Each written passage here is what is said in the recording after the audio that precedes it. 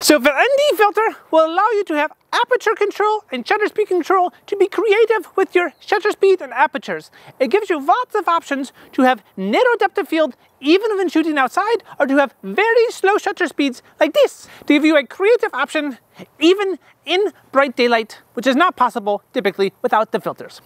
Sometimes in the video world, the video we want a 60th of a second shutter speed because if we have too fast of a shutter speed like a 500th or a 1000th during video, it looks a little herky-jerky and it doesn't look very smooth. We'll put ND filters on our lens for video and for photography creative purposes.